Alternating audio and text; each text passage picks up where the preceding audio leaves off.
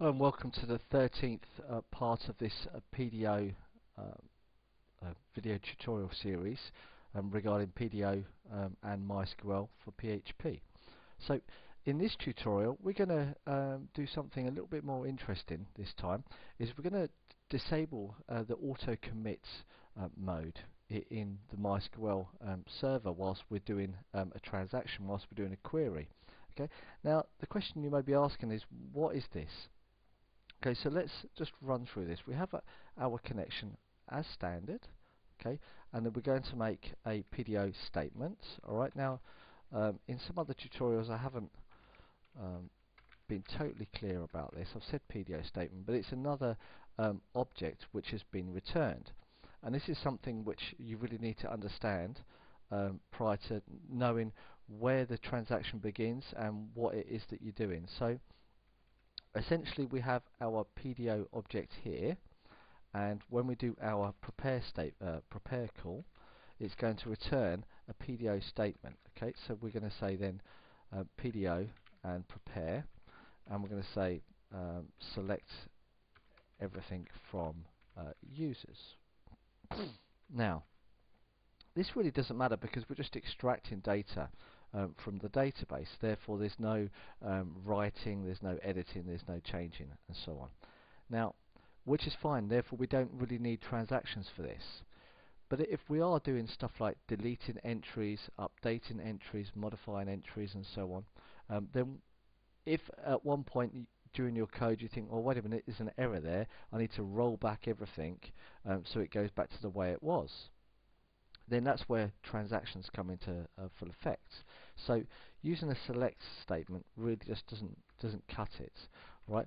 But if we use an up update statement instead, um, which is then going to write changes to the database. So update users um, sets uh, name equals to um, we use a question mark where user ID equals question mark. Okay. Now we know that we're going to use our um, bind parameter in this case and we're just going to say parameter number one and we're going to say that's name and then uh, bind parameter number two is then going to be equal to user ID. Now because this is by reference we can then declare or we can initialize um, the variables a little bit later and we can put David Thorne and I think it was still uh, Thorne, oh, it's David James Thorne, sorry I'll move this over across in a second. Okay, and then user ID was 1. Alright, so in this one we're going to change it.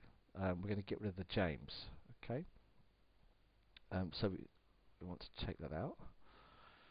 Okay, set name equal to that where user ID equals 1. Alright, so this is what we're changing. At the moment it's David James. And let's just bring this across. Okay, and as you can see at the moment, it's David James Thorne in here rather than um, uh, David Thorne, which is what we want to change it to. So um, we've got our PDO statement, we've uh, done our prepare statement, we've binded our results, we've initialized um, our parameters, should we say, sorry, not the results, the, the parameters, and now what we need to do is then um, execute it as normal. And we can just turn around and say if uh, execute to check to see whether uh, the execution was all okay. Echo all okay. Alright so fantastic. Come to here. We'll reload this. All okay. We can refresh our database. And as you can see now we got David Thorne. But what about if whilst doing this um, let's just change this back to David James Thorne instead. We can then go oh no there was an uh, error. Okay.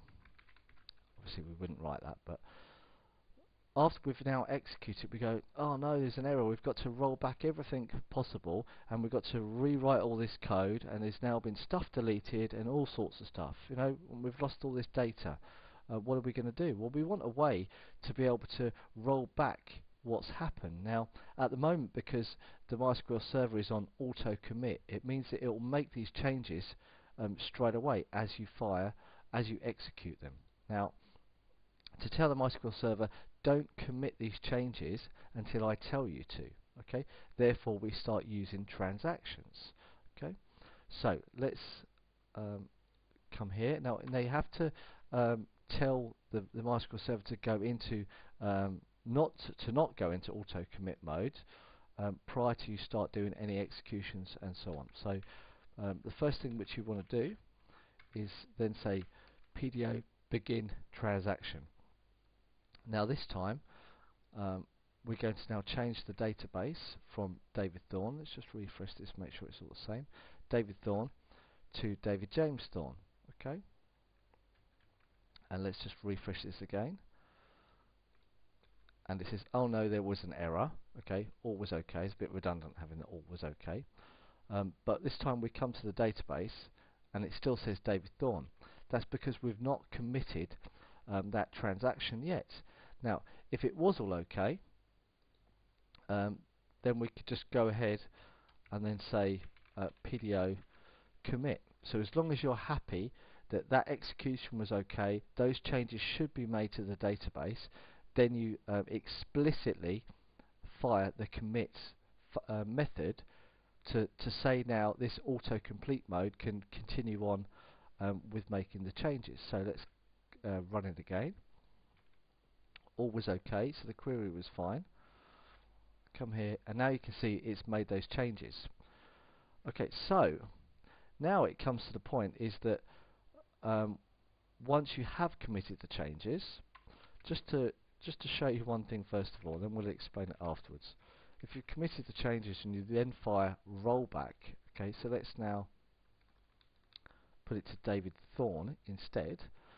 So commit's going to make the changes. Alright, then there's another function called rollback. Now, I just want to show you explicitly here that we're firing both.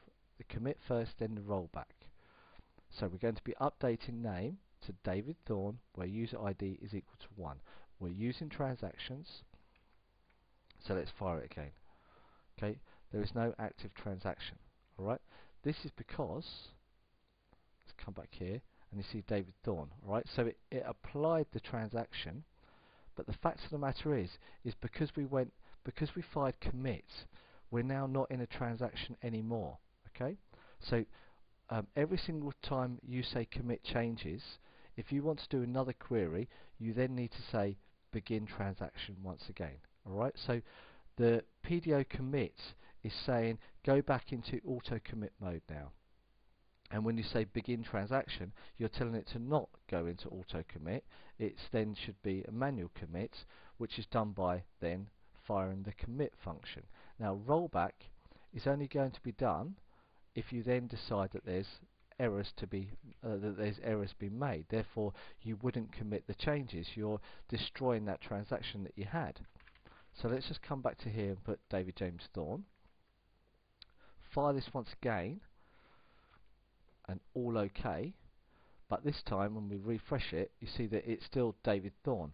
So the changes although they executed correctly and it was all fine somewhere in your code you went wait a minute there's been a massive error I need to just undo everything. Therefore, you would then call PDO rollback. But just remember that once you've called commits, those changes are in the database, okay, and have been written. And in order for you to call rollback, you need to have um, an open transa uh, transaction or an active transaction and you no point calling rollback after commit because if you do that, then you've ended the transaction. Therefore, you need to open up a new transaction. Okay, so um, once you've called begin transaction, you have one of one or two choices. It's either call commit to make the changes or rollback to not make the changes. Now, if you don't call commit, effectively you're calling rollback because you're not making the changes anyway. Therefore, um, yes, that's that's effectively it. The commit is saying end transaction and write all changes. Um, that's effectively this um, this tutorial done. I mean, it, it's all about if between your code and the database you're going to make changes. Okay, you're going to make written hard hard changes. Now, the one thing to remember is that the likes of drop-in tables, if you read in the the begin transaction documentation, um, it is here. Okay, some databases, including MySQL, automatically issue an implicit commit when a database definition language statement such as drop table or create table is issued within the transaction.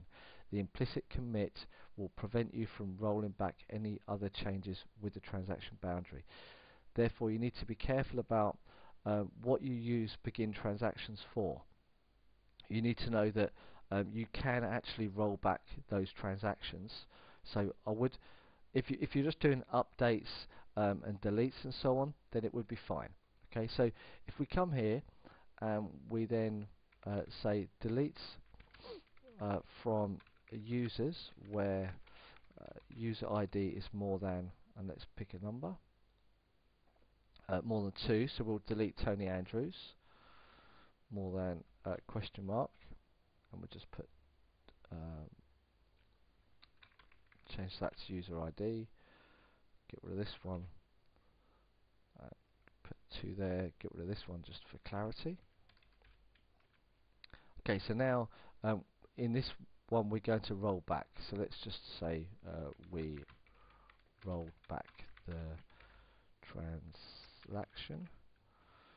Okay so now we're, we're deleting uh, where the user ID is more than actually we want more than equal to 2 no, we want more than two, sorry. I don't want to delete anything higher, uh, lower, sorry. Okay, let's go again. Okay, we roll back the transaction, come to the database, refresh it, and you see that Tony Andrews is still there because we made an error at one point. But this time, if we say commit, this time he's going to be gone from the database.